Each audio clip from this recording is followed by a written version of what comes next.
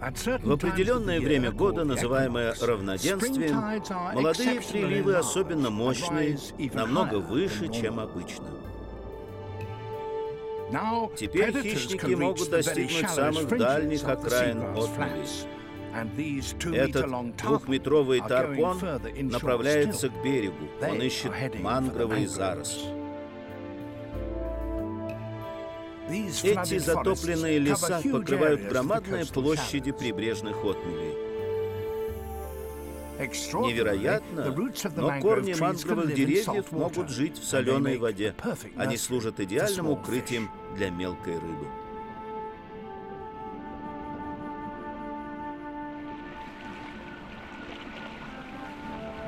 Кижучи и люцианы находят убежище в переплетении корней. Крупные хищники редко заплывают сюда.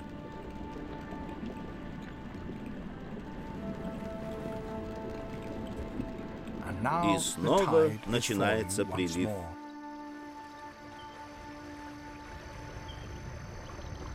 Вода теряет растворенный в ней кислород и быстро застаивается. Большинство хищников покинули мангровые заросли, но этот тарпон, загнанный начавшимся отливом, в ловушку еще здесь.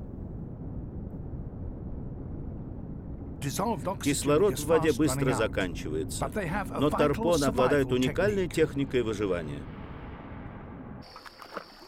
Они могут дышать воздухом.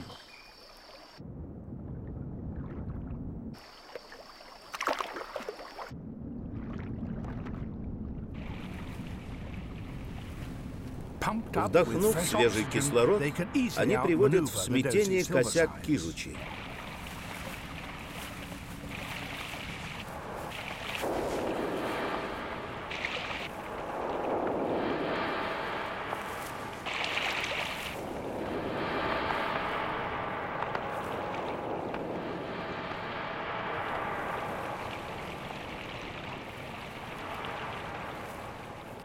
Прилив начался снова.